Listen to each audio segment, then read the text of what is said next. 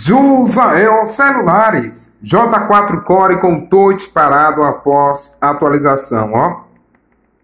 Vendo aí o tutorial do nosso amigo Raposo, resolvi também postar aqui. Apareceu um, vou deixar o link do canal do Raposo na descrição e também o link da ROM dos arquivos necessários, ó. Vou reiniciar esse aparelho para você ver que realmente ele está travado e que realmente foi atualização. Eu estou mexendo nele apenas com o mouse eu vou reiniciar ele, ó. Vou aqui clicar em reiniciar, eu estou com o mouse.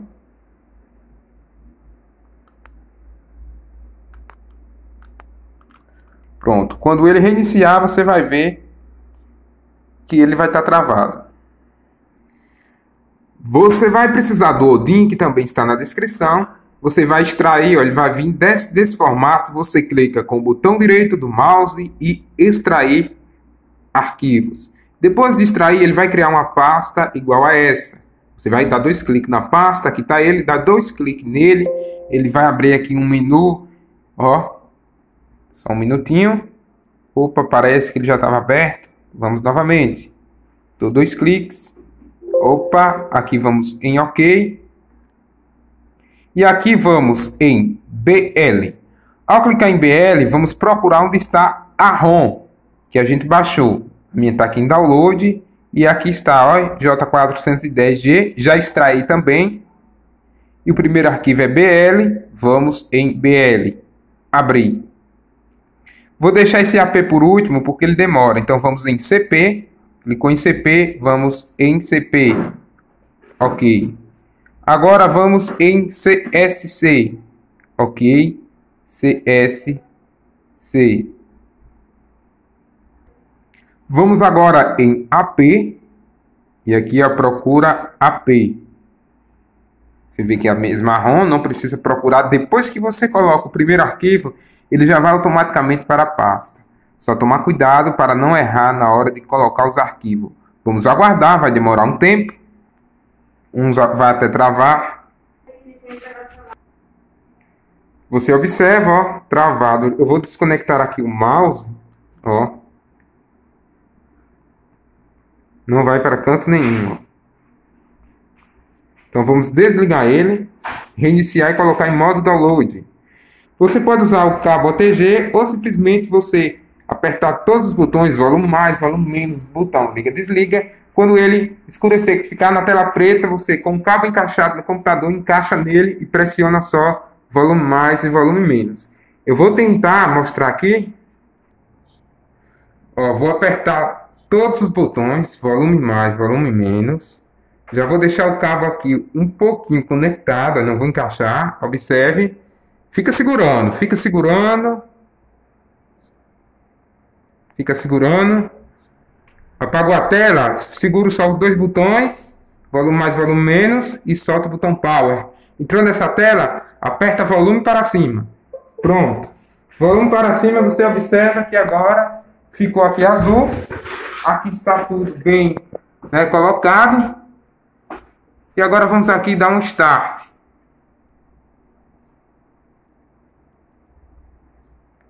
Cuidado, né? Não toca em mais nada. Vamos aguardar completar.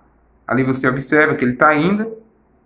E quando completar, vamos ver se realmente vai funcionar ou não. É bom você pedir a senha do cliente para você poder ter acesso ao aparelho para remover a conta do Google. Senão vai ser dois trabalhos depois. Você vai ter que remover a conta é do Google, caso o cliente não lembre. Então, você pode ir com o mouse, coloca a senha e remove a conta do Google, né? O link dos arquivos está na descrição. Também o link do canal do Raposo está na descrição, onde lá você vai também aprender a, a remover conta Google e tem né, o tutorial é, fazendo atualização dessa RAM. Depois que tudo der certo, você não pode atualizar mais o aparelho. Então, você vai em configurações, coloca em modo desenvolvedor e aí desativa a atualização automática. E avisa o cliente, caso apareça pedindo para atualizar, que o cliente não atualize, porque se atualizar, ele para. Por que para a tela? tela trocada. Todo celular Samsung, desses mais modernos, que troca a tela e não é uma tela original, original da Samsung mesmo, ele trava após atualização do sistema. Olha, já apareceu user data. Agora ele observe que ele vai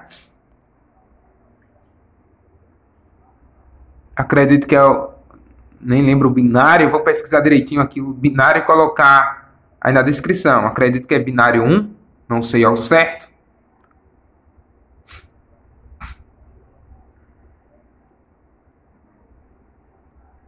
Pronto, deu reset, vai reiniciar. Aqui nessa parte ele demora um bom tempo.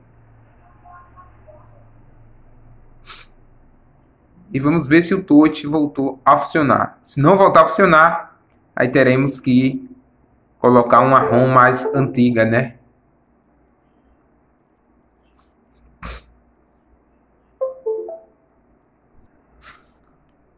Iniciando o Android, vamos aguardar. Eu pausei um pouco o vídeo, mas passou mais de 5 minutos. Olá a todos, José os celulares. Agora vamos ver se ele vai, opa, vamos aqui em próximo. Pronto, problema resolvido, né? Não esquece de tirar para ele não atualizar mais, senão se você deixar ele para atualizar automático, ele para de novo.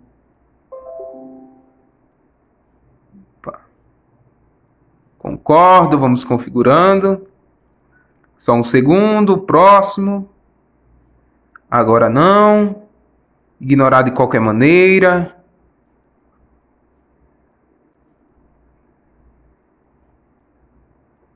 Aceitar. Se você aguardar até o final, você vai ver como faz para ele não atualizar mais. Tudo pronto?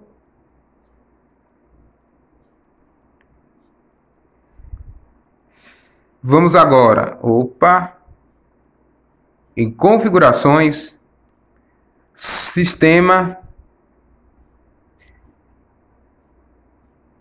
sobre o telefone. Vamos aqui em número da compilação da vários. Pronto, agora volta. Volta. Vamos aqui.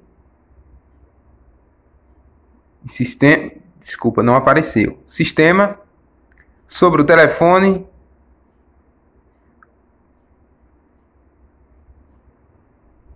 Vamos aqui. Opa! Não é possível.